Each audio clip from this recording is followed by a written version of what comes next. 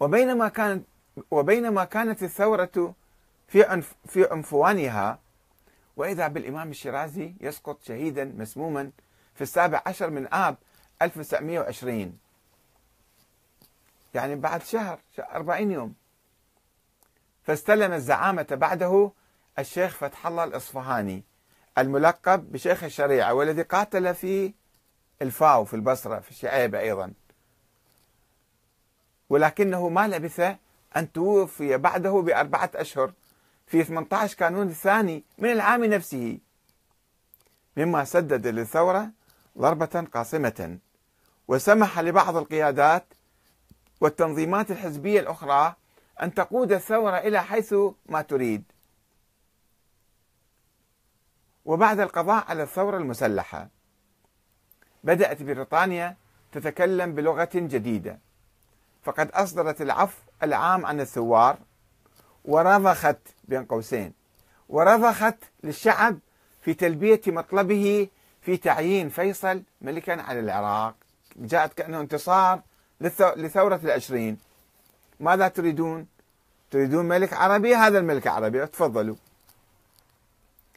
وفي الواقع لم تكن هذه العملية إلا مسرحية. حققت بريطانيا أهدافها من خلال بعض العملاء أو الوطنيين السذج الذين لم يفقهوا في السياسة كثيرا الذين لم يعلموا ببواطن الأمور ولم يطلعوا على حقيقة فيصل وعلاقاته الوثيقة مع قوات الاحتلال إذ لم يكن سوى قفاز كشيب لأصابع الاستعمار البشعة. يقول نائب الحاكم العام في العراق في تقرير إلى رؤسائه إن فيصلا هو الوحيد الذي يدرك المشكلات العملية في إدارة حكومة متمدنة بموجب الطرق العربية وأنه لا يخطئ في التقدير بأن المساعدة الأجنبية المساعدة الأجنبية أمر حيوي لاستمرار وجود دولة عربية كما أنه يدرك الخطر الذي ينجم من الاعتماد على جيش عربي. ما يصير يسوي جيش عربي يعتمد عليه؟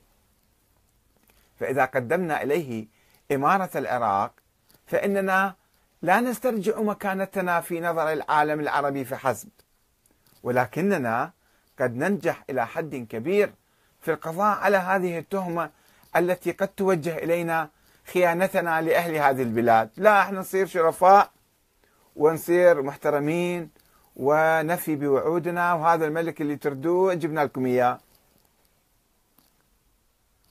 شوفوا اللعبة يعني كيف كانت. وقبل أن يدخل فيصل العراق قام بجولة سياسية إلى لندن. عاد بعدها مع خطوط سياسته العريضة.